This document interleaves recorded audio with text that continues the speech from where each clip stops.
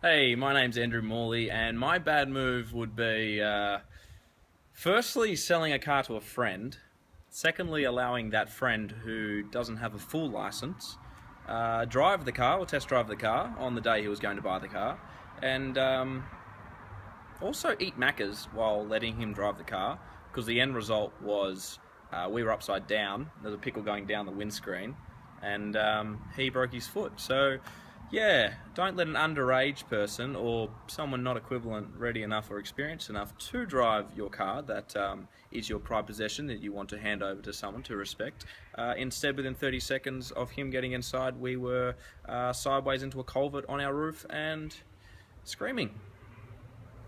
But I'm here. I wouldn't do it again. So there's a life after bad moves.